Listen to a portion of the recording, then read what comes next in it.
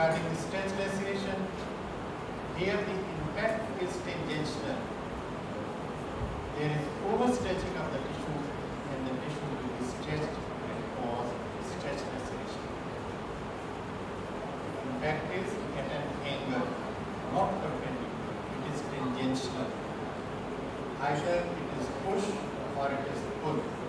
Both the forces when applied at angle the tissues. And this tearing or splitting, uh, sorry, uh, stretching will be in the direction of the force.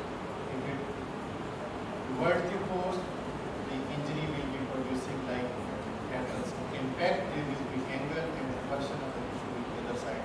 And if it is pull, at the point of impact, there will be tearing and other side there will be heat up or avulsion. Direction can be judged and at the point of application of the force contusion, confused.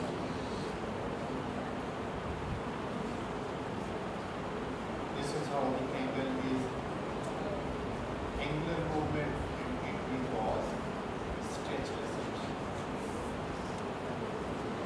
So mechanism of stretch laceration that impact is tangential and this angular movement will cause overstretching of the tissue and when, when this overstretching exceeds, exceeds the limit of the elasticity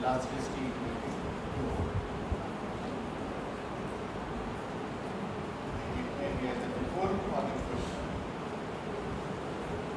The characteristics of stretch laceration that it is usually away from the point of the force of the. And the point of impact, there will be contusion. The first point where it comes in contact, that will be contusion, and it will avulse the tissue towards the direction of the force, causing the stretch laceration. Flap, will be showing the direction of the force. The differences between split, here the impact is perpendicular, right angle, whereas in straight it is tangential at an angle.